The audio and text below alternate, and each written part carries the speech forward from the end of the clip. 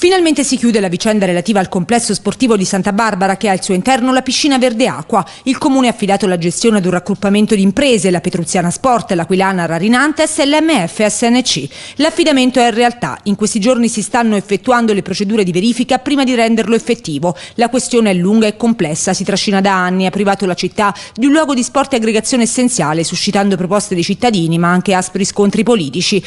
Come si ricorderà, nel 2018 l'impianto venne chiuso per l'incidente in piscina il 10 ottobre, quando ci fu una fuoriuscita di cloro che ha fatto partire anni tormentati per l'impianto sportivo, tra affidamenti da rifare e gara deserta. Il Comune negli anni ha ritoccato anche il bando per renderlo più appetibile. I futuri gestori faranno un'importante opera di riqualificazione sulla struttura che potrà tornare fruibile finalmente per la collettività. Sono passati quattro anni perché a ottobre 2018 fu chiusa su segnalazione dei vigili del fuoco, fu chiusa la piscina e poi finalmente dopo una gara andata deserta siamo riusciti ad ottenere un'unica offerta, un raggruppamento di imprese UNATI che finalmente si è aggiudicato la gestione di, del complesso sportivo di Verde Acqua con uh, i relativi lavori che devono effettuare.